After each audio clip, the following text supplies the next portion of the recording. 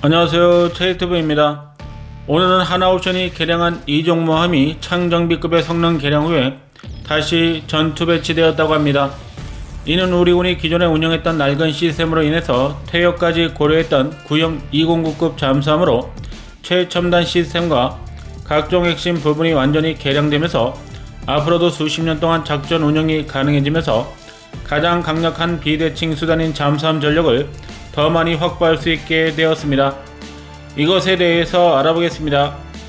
대한민국은 1980년대 중반부터 전략무기 체계에서 최정점에 위치한 잠수함 전력을 구성하기 위해 노력했으며 자체적인 제작 기술을 확보하기 위해서 독일과 프랑스 등과 접촉해 기술 이전을 통한 잠수함 개발 사업을 본격적으로 진행했습니다.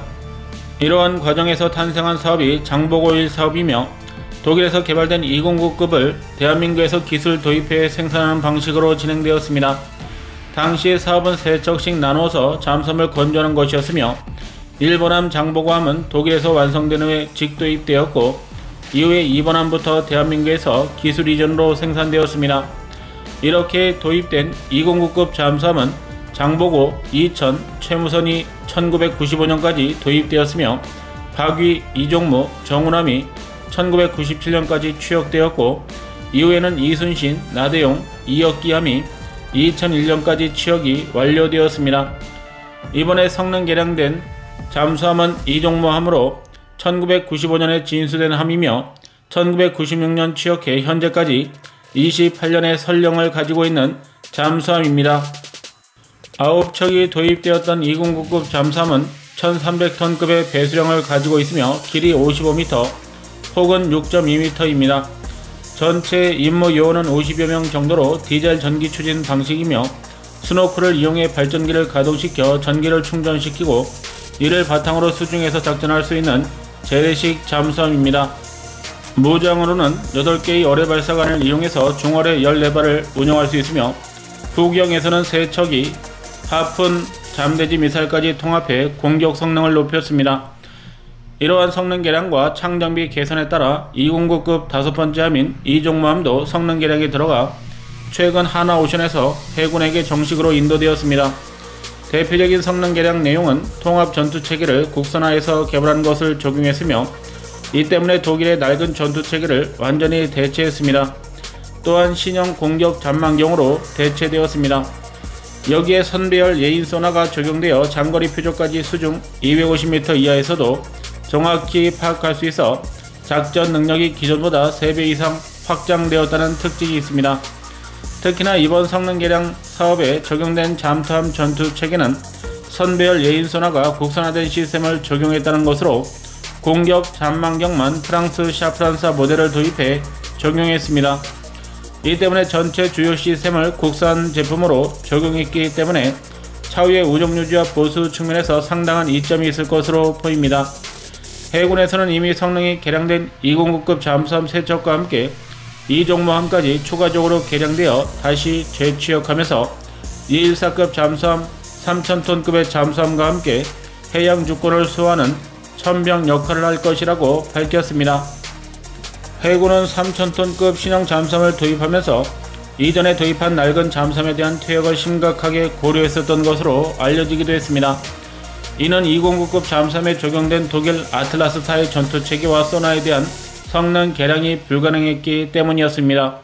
잠수함에서 가장 중요한 두 가지 핵심 체계가 소나와 전투체계 시스템으로 독일에서 생산되어 장착된 두 가지 시스템은 시간이 지날수록 부품 단종이 늘어났으며 해군에서도 시스템 고장으로 제대로 작전 수행이 어려운 일수가 늘어나면서 골치를 썩고 있었던 것으로 알려지기도 했습니다.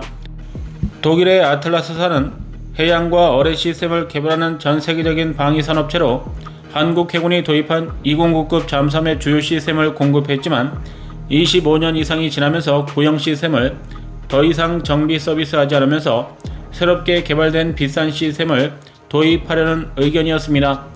특히나 소나 체계는 잠수함에서 기와 눈 역할을 하는 핵심으로 수중 수백 미터 바닷속에서 잠수함이 이동하기 위해서 반드시 필요한 시스템입니다. 그러나 시간이 지나면서 부품 공급이 중단되고 이로 인해 점점 해군 기지에 정박하는 일수가 늘어나면서 해군 잠수함 전력이 누수되었으며 이 때문에 많은 논란이 일어나기도 했습니다. 이후 방위사업청을 통해 독일 아틀라스사 외에 노르웨이 콩스버거사가 개발한 잠수함 전투 체계와 소나를 도입하려고 시도했지만 구형 잠수함에 장착하기에는 비싼 도입 단가로 인해서 포기했습니다.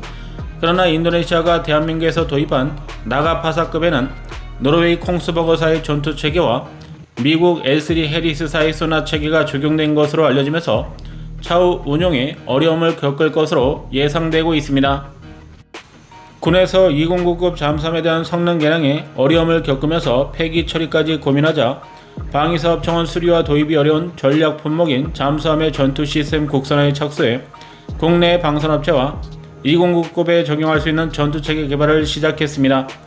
그러나 독일과 노르웨이, 프랑스, 일본, 영국, 미국 등 기존의 군사 강국이 수십 년 동안 쌓아온 전투 체계를 하루아침에 국산화하는 것은 상당히 어려운 일이었습니다. 그러나 2000년대 중반 윤영하급 고속정에 들어가는 전투체계 개발 성공과 인천급 허위함에 적용된 국산 전투체계를 이용해서 잠수함 전투체계 개발에 나섰으며 수천억 원을 투입해 LIG 넥슨을 통해 개발에 성공하게 되었습니다. 국산 전투 체계를 개발하는 과정에서 수십 가지 정보를 실시간으로 처리하고 어뢰와 레이더, 소나 체계 등과 연동해 정확한 정보를 구현하는 것을 개발하는 것은 상당한 난이도였던 것으로 알려지기도 했습니다. 여기에 모든 시스템을 프로그래밍 하는데 가장 중요하고 기본적인 시간을 시스템에서 동기하는 것이 가장 고난이도였던 것으로 알려져 각종 시스템과 전투체계를 동기화해서 시스템을 원활히 가동시키기 위해서 수천만 년 동안 단 1초도 틀리지 않는 초정밀한 시간 시스템을 이용해 다른 하위 시스템과 동기화시키는 것이 굉장한 난이도였던 것으로 알려지고 있습니다. 만약에 시간이 조금이라도 내부적으로 틀리게 되면 모든 시스템에서 정보 교환이 불가능하며 전투 체계까지 다운되어 벽돌 현상이 발생할 수도 있습니다. 만약 수중에서 잠수함 시스템이 벽돌이 된다면 그야말로 그대로 수중 속으로 침몰할 수밖에 없을 정도로 치명적인 문제를 야기시킬 수 있습니다. 어렵게 전투 시스템을 자체 개발하는 데 성공하면서 209급 잠수함은 앞으로도 수십 년 동안 성능 개량과 유지 보수에서 큰 문제가 없을 것으로 분석되고 있습니다. 국산 전투 체계와 소나 체계가 통합되면서 209급 잠수함의 탐지 범위는 3배 이상, 표적을 동시에 추적하는 능력은 최대 4배, 그리고 동시에 위협을 분석하는 성능까지 4배 이상이 크게 확대된 것으로 알려졌습니다. 무엇보다 시스템을 안정적으로 가동시킬 수 있는 정비유지 인프라를 우리 손으로 구축하면서 잠수함의 핵심 시스템을 자체 개발하는 시작점이 되었다는데 큰 의미를 부여할 수 있습니다. 여기에 독일에서 개발된 원형 209급 잠수함에도 장착하지 못했던 선배열의 예인선회가 적용되면서 지금까지 독일이 판매한 수십 척의 209급 잠수함 중에서 가장 강력한 탐지 센터를 확보하고 있다는 것이 특징입니다. 209급 잠수함의 선배열 예인 소나를 장착하기 어려운 이유는 독특한 추진 시스템에 기인하고 있습니다. 209급 잠수함은 재래식으로 설계된 잠수함으로 후방에 4m 이상의 프로펠러 치력을 노출하며 강력하게 회전하면서 앞으로 추진력을 얻게 됩니다. 그러나 선배열 예인선화는 기존의 전투함에 장착되어 장거리 탐지 능력을 보여줄 수 있는 소나 체계 중에 가장 위력적인 시스템이지만 잠수함에 적용하는 데는 프로펠러의 간섭으로 인해 적용하기가 어려웠습니다. 잠수함 후방에서 운영되어야 하는 선배열 예인소나는 수중에서 가동 시 후방으로 소나 케이블을 빼 1km 정도를 전개해서 소나 음탐을 실시하지만 작전이 끝나면 다시 케이블 회수 시스템이 감아 원통형 놀라에 수납되어야 합니다. 그러나 209급 잠수함의 후방에 이러한 케이블 수납 장치를 장착할 공간이 없었으며 프로펠러 간섭으로 절단 위험이 높아 독일과 프랑스에서도 프로펠러가 노출된 잠수함에서는 고성능 견인 소나가 운영되지 못했습니다. 그러나 방위사업청과 국내 방산업체들이 협력해 수년 동안 완전 새로운 소나 시스템을 설계했으며 스크류 간섭 없이 후방까지 소나를 이동할 수 있는 전용관을 설치하면서 어떠한 잠수함의 자세에서도 프로펠러가 소나를 간섭할 수 없도록 최적화 설계가 적용되면서 고성능 견인 소나를 잠수함에서 운용할 수 있게 되었습니다. 이렇게 다양한 시스템이 209급 잠수함에 적용되면서 해군에서도 퇴역이 아닌 다시 개량에 재취역하는 방식으로 성능 개량 사업을 진행하고 있습니다. 2019년부터 시작된 최무선 나대용 2억 기함이 개량되었으며 2020년 후석함 세척을 추가로 개량하는 사업이 시작되어 이번에 이종모함이 성능 개량이 되었습니다.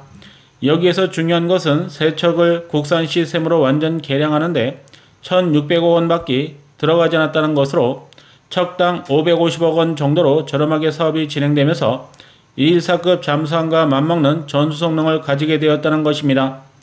이 때문에 방위사업청은 앞으로도 남은 세척을 개량해 총 9척 모두를 수십 년 동안 실전해서 더 오랜 시간 운영한다는 계획입니다.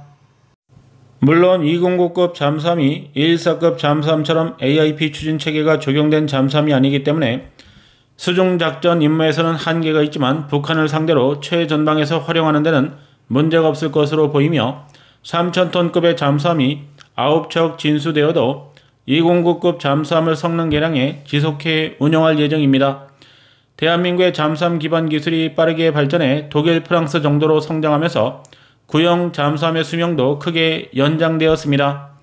영상 시청 감사합니다.